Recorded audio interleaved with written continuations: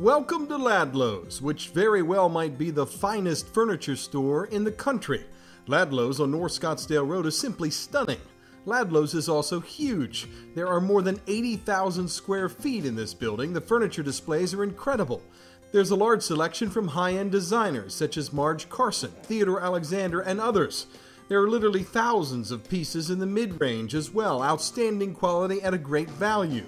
The rug gallery is larger than most rug stores. The selection of leather, accessories, and every style of furnishings you could ever want is awesome. One of the few challenges that Ladlow's faces is that when you see this, you might think Ladlow's is too expensive. Absolutely not. Absolutely not. And when clients come in and look at the uh, some of the tags on the floor and see the price points, they're like, "Wow, I'm really surprised. I thought this was going to be very expensive. I'm excited."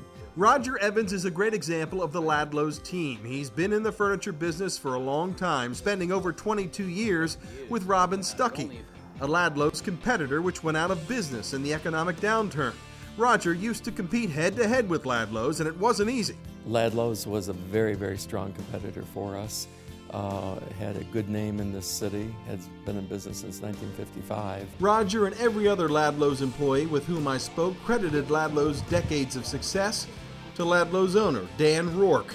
Dan bought this business from Mr. and Mrs. Ladlow back in the mid 70s and has expanded it at least six times. Marty Mills has been Dan's assistant since he opened, more than 36 years ago. She says Ladlow's is a special place. It's family. It's family owned. We think of each other as brothers, sisters. We watch out after each other.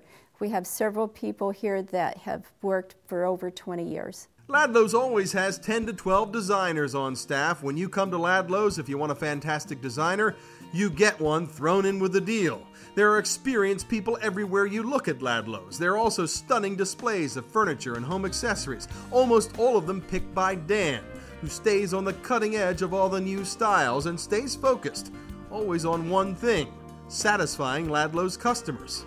We have a saying at Ladlow's that if it's not right for the customer and if it's not good for the customer, then it's not right. It's got to be good for the customer, or in the long run, it's not going to be good for Ladlow's. So we really strive to give the customers what they want.